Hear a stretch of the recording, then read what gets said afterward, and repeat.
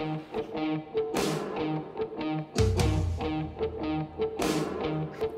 have a voice that talks to me in my head sometimes. It says, why not do something extreme? Shave your eyebrows off, maybe buy a building.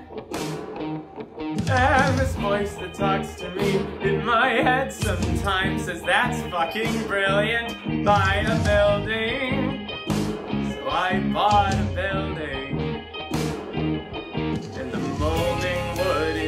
Dog shit brown. And everything has to be torn down and plastered over desperately. There's no plumbing, no Wi-Fi, no fire escape, just an ancient, damaged velvet drape that's older than me.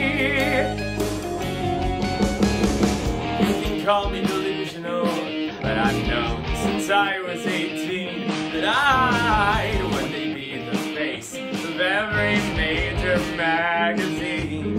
I don't need community.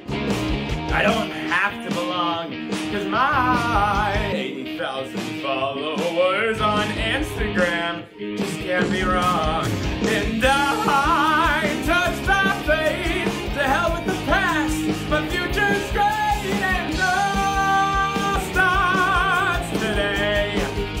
hashtag household name.